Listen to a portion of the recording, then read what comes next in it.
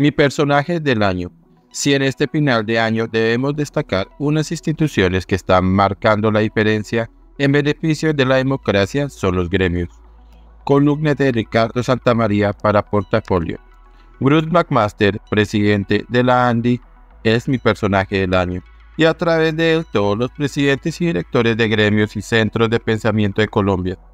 Él y ellos, hombres y mujeres, en este momento, en este gobierno, están cumpliendo un papel fundamental, aportando sensatez, equilibrio, argumentos, posiciones sustentadas, seriedad y oportunidad al debate de las reformas planteadas por el presidente Petro que, en muchos casos, vienen cargadas de radicalismo, ideología, improvisación y que no construyen sobre lo construido como debería ser.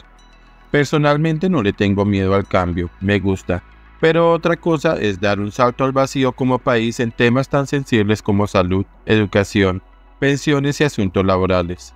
De aprobarse como están, perderemos décadas de avances sociales. Bruce McMaster, desde que dio en primera línea una discusión informada sobre la reforma tributaria, ha sido siempre una voz autorizada y oportuna para entender las consecuencias de los proyectos que hoy se discuten en el Congreso.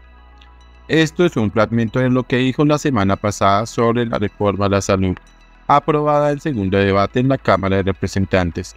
Están lanzando a Colombia una crisis en el sistema de salud sin precedentes en forma totalmente irresponsable, quizás solo por seguir una ideología y por intereses políticos y económicos. Si en este final del año debemos destacar unas instituciones que están marcando la diferencia en beneficio de la democracia son los gremios representa por supuesto intereses particulares y esa es su esencia. En infraestructura, salud, energía, petróleo, en todos los sectores de la actividad económica los encontramos, pero su responsabilidad va más allá del sector en el que se mueve. Deben ser capaces de mirar intereses nacionales, enfocar el progreso de Colombia a los colombianos como un todo. Cuando lo logran, hacen la diferencia.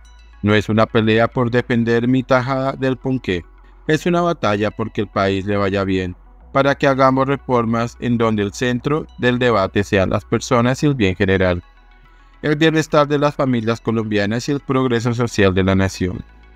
Hay muchos factores que son necesarios, la capacidad técnica y de investigación que se dé al interior del gremio, la convocatoria para integrar todas las posiciones y vertientes de un debate, la oportunidad para salir a opinar en los medios de comunicación y las redes sociales, la disposición para hacer y hacer sacrificios en función del bien común, la flexibilidad para abordar e impulsar cambios necesarios.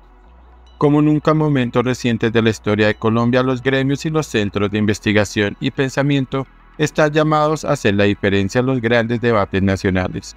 Es momento de fortalecer su presencia en la vida colombiana. Su aporte es indispensable lo que hacen desde el sector privado es servicio público. Su liderazgo hoy inspira a muchos ciudadanos.